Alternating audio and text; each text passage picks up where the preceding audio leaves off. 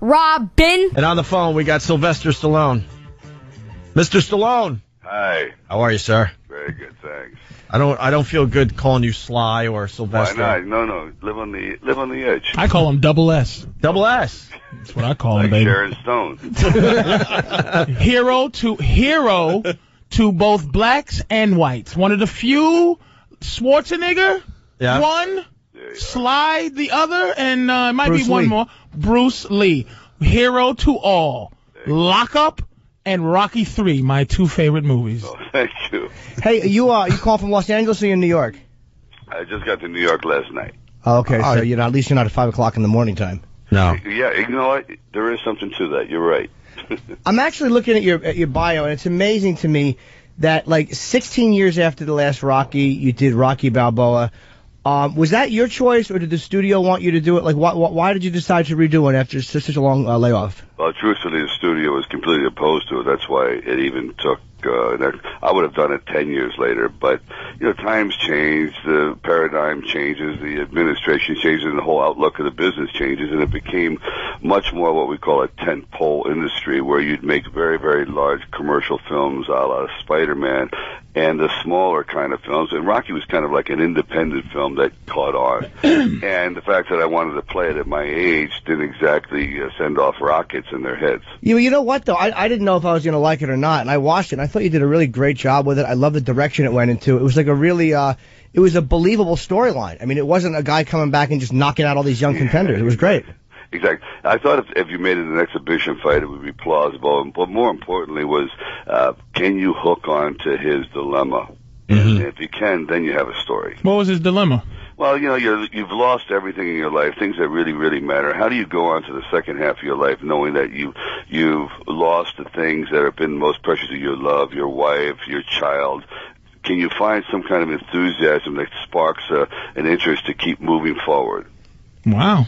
Now, 20 years later, uh, you're releasing uh, uh, the Rambo, which is just called uh, John Rambo, or is it just called? Well, it was going to be called John Rambo, and then we so we wanted to be clever and go like, oh, why not to like to Hell and Back or Up Blood River? And then it started sounding like a, you know, a a, a serial film. Then the, John Feltheimer runs Lionsgate says, why don't we just do something that's I just call it Rambo? And even though we've had a movie called Rambo, I think there's been enough time in between that you can't mistake that. Now, what who, what's going on with the? uh You remember the Andre the Giant stickers they used to have around? No. Remember that those Andre the Giant faces? It's just a drawn face of Andre the Giant. Oh yeah, yeah, yeah, yeah. Yeah, you got like this that that thing going on in the streets. Like Oh, you got the like, Rambo- It's just that drawn. Yeah, it's it's his face just stamped on yeah, everything. just kind of as Rambo. What is that about? Is that Well, you like know, some? guys, that to me is uh, that that came from um, Lionsgate, a man named Tim Palen, and I, and I think it's it's actually genius. I never would have expected it. They'd taken a regular photo and sort of reduced it to like street art, and it's so so I don't know uh, obvious from a long distance away. And then I said, you know, why is this catching on subconsciously? You know, it looks like the Che Guevara. Right, right, right, right. And which is still burnt into Well, people's brains. well, Andre the Giant and t- stickers. All right. I don't remember the Andre the Giant. It's, stuff. I don't it's just, just that one either. around, you know. What I mean? All right, all right. You, I'm, I'm waiting for Cliffhanger, the 20th anniversary one. Oh man, You're man. waiting a long. this time he gets a job as a window washer. one of the Sly, that cliffhanger was a great movie, man. One of the best opening scenes Oh, ever God. shot was you hanging off that uh, that rope, uh, holding her hand and looking down. That Wait a minute, was he disgusted with Cliffhanger? No, that one of, no, it's just probably who wants to hang it and no, do no, that? no, no. I mean, uh, Sy- Sy- Sylvester Stallone. Like, is, were you? Is that one of your favorites, or is that Oh, one of no, your it least is one of my favorites. Yeah. No, I'm saying the, the idea of going through that that those heights and the, the hardship and I mean I'm not a height person, Right. and after a while you just can't take it anymore. You you're going to work twelve thousand feet in the air every day. So you were doing like a lot of rock climbing and stuff yourself, right? Well, to a point, yeah, because you, you have to, you know, but something happens when you're doing films like that, and a lot of mountain climbers said it to be true. After about a month, you, you go up there, you're terrified. Then after about a month, you find yourself going closer and closer to the edge, turning your back, eating your lunch, hanging over the side, and it just, it just pushes man's ego to see how far you can go before you fall to your death. All right, sir. Now here it is. Now, don't take offense. I just need to know All right. What is the backstory of Viagra Rambo. What is that? The old man Rambo, the 20 year later Rambo. Not you, but the, Oh, oh, but yeah, the, the dude who's like 20 years from the last dude who fought the Russians. Exactly. Well, he goes back to Thailand. He lives on the border of Burma, and I've seen, I, I, I've, I perceive this guy as kind of moving back in the jungle, almost becoming animalistic because he doesn't communicate with humanity anymore. He's lost his faith in God. He's lost his faith in humanity, but he's very, very strong, very brutal, very powerful. And he's a riverman, he's a boatman, and these people have to get into Burma, these missionaries, because they do this truthfully every year, and the only way to get in there is upriver because all the mines, all the trails have been mined. And that begins the adventure where Rambo now starts to feel a rekindled connection with humanity. But I, I think I was in the best shape I've been in a long time for that. But I wanted to be not a bodybuilder look, but more of a, a working class, hard, hard man, like a lumberjack. You mean more like the original Rocky, where you were big and strong, yeah, but not exactly necessarily right. cut. Exactly right. Exactly right. And uh, we accomplished that, so the audience would say, "Oh, okay, this is believable," uh, but it's not. It's not vain, and it's not self-conscious of trying to look vascular and all that sort of stuff. And, and you're 60 years old, right? Sixty-one. Wow. 61. Amazing. Holy Don't, moly. Don't keep me out of that one. Did you ever? All right. And that's why I call it Viagra Ram. I mean, it's just like, you know, I'm not, no, jeez, I'm just joking. It's amazing. Now, it- now, okay, we was just talking about like all this, this, the stuff we was just talking about, the racial stuff or whatever. Now, if, I remember in Rocky, in Rocky, not in Rocky. Rocky Five? uh, not Rocky Five, Rambo, First Blood 2. Or first, the, and the girl, and the pretty girl that was like, Wambo, Wambo, and the, Oh, the Asian girl. ridiculous is, uh, are they gonna have, be having that kind of stuff now? Or are the, are the people in the movie like, you know, we gotta, we're Vietnamese and we, you know, there's none of that. No, you know, we, we just had to be as truthful as we can. And this Good. is so we actually hired because the, the worst situation in the world right now, the longest running civil war and the bloodiest, is in Burma. It's been going on for 60 years. So the hardest thing was to get Burmese refugees to play themselves because they're still terrified because the Burmese secret police are always coming over the border trying to pull them back. So we we didn't get into um, you know, casting for just, you know, a shock effect. We stayed pretty much with the real people over there. So it's mostly Burmese and myself and uh, this group of Christian missionaries from, let's say, Colorado. One of I'm gonna guess one of your favorite things. One of my favorite things that you ever did, and I think it took a lot of people off guard was when you did Copland. Uh, the type of a role you played there, which was kind of like this, the guy who doesn't necessarily win. Exactly. Um, i- is that something that you would uh, would, would do more of? Because it was really great to see people like like you you forget like oh yeah this guy's like not just doing action movies, but he's you know he's a real actor and he's you know people kind of I think lose sight of that sometimes with the action stuff. you know, that's that call it falls under the category careful what you wish for. I love doing ensemble work. Uh, There's nothing to me that's more pleasurable. So when I did that, I thought it would open up different avenues, and because the, the everyone always says, "Oh, the most important thing for an artist to do is stretch." So we stretched. I stretched my waistline. I stretched everything, but actually, it it it, it hurt me. Did it really? Yeah, it did. It really did. It, and so people said, "Oh, he's not into action films anymore.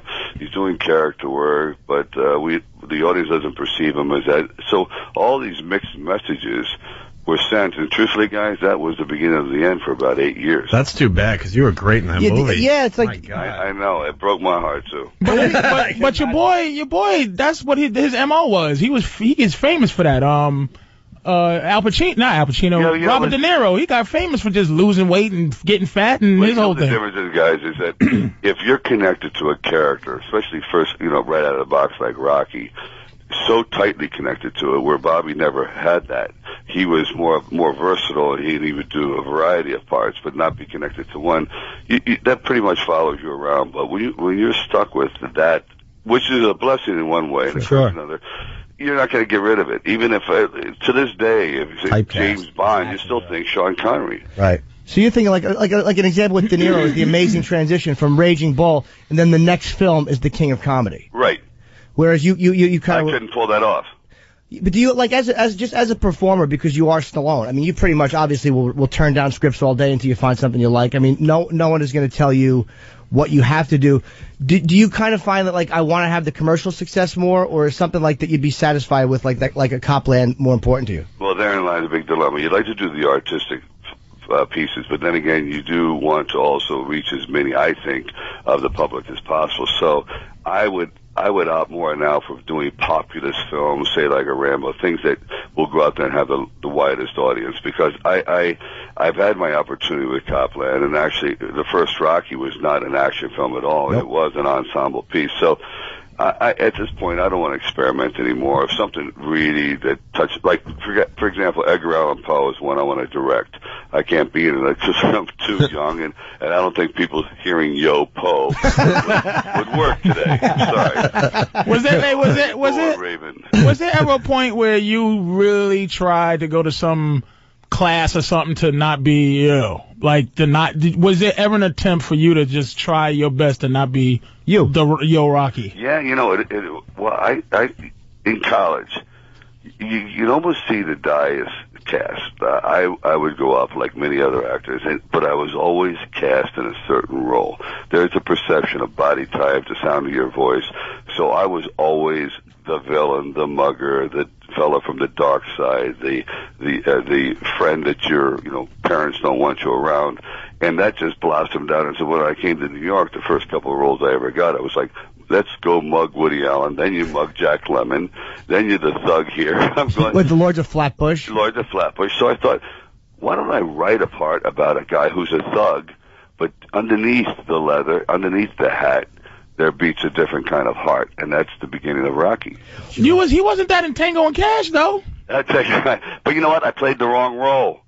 I nah, should- man, Tango and Cash. That was no, it. I should have played the Kurt Russell role. Let him wear the And I, and I. I'm sorry. I really enjoy what people would call your other movies. Like, I mean, like Rocky to me, we argue all the time. We argue here before. Rocky 3, I'm a black dude, by the way, is my favorite Rocky. And, I, and we argue that, but I think Rocky 1 is everybody's mostly favorite. But Yeah. I love Lockup, Tango and Cash, Rocky 3. I, I like the other great one, movie. Nighthawks. Nighthawks, sure. Yeah. But I do my, the Rocky, my favorite is one, uh, the last one, and three. Do you know what I love about Rocky? When you watch the original Rocky, because obviously it was a lower budget than the other ones. When you when you pan into the audience little times, you'll actually see at times empty seats during the championship fight. Just just the nature of doing like a, a, a film before you're so known, and then you see part two and you watch those scenes, and you know, and, and, and there's not an empty seat in the house. I know it's so true. We were have we would have people people brought in, and we couldn't get any volunteers, and they were going to people, you know, uh, I guess homeless. You would get local people on the street, anyone you can get, and they would only stay as long as the free lunches and the chicken boxes. Once that ran out by noon, They're out you're of there. playing to a house full of crickets. Yeah. What's that? I was, I I just wanted to know if he still talked to Oh. Carl Weathers and Oh yeah, yeah, yeah. Do you still? I I mean, it's a kind of a corny question, but it's No, like yeah. we can we become kind of invested in these characters after all these years, and you associate Rocky with Apollo Creed. I mean, Yeah, you I- assume they hang out every holiday, you know. No, not really. You know, I see Carl now and then, and uh, he's walking down the street in Santa Monica. Hey, how you doing? But it's strange. A lot of actors don't maintain any kind of relationship. We all sit there and exchange phone numbers and say, you know what, we're going to be buddies forever. It's called. It. Have the kids be- grow up together, and then by the time you get home, amnesia.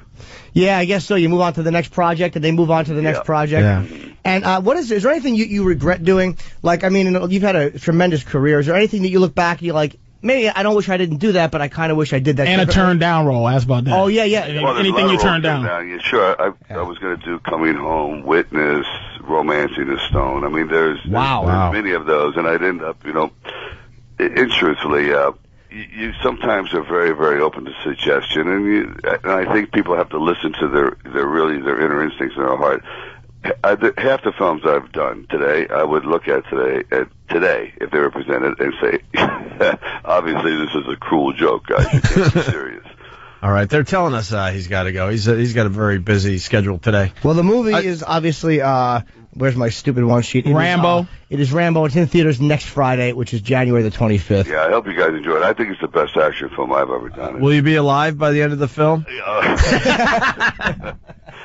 Actually, that's the next movie as we try to bring Ra- Rambo back from the bring back from the yeah. dead. Uh, com, And, uh, you know, it was, it was really a thrill talking to you. We're really happy Absolutely. that you were able to call in. Appreciate and, it. And uh, continued success. Good luck with the film. Yeah, same to you. Take wow. care. Thank you. Bye.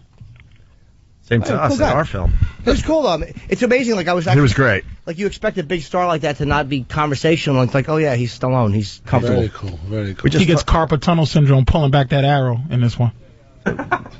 That was a good one. Thank you, fan. We uh we just talked to Rocky. That's yeah, that's great. That's pretty damn impressive, man. Yeah. All right, we gotta take a quick break.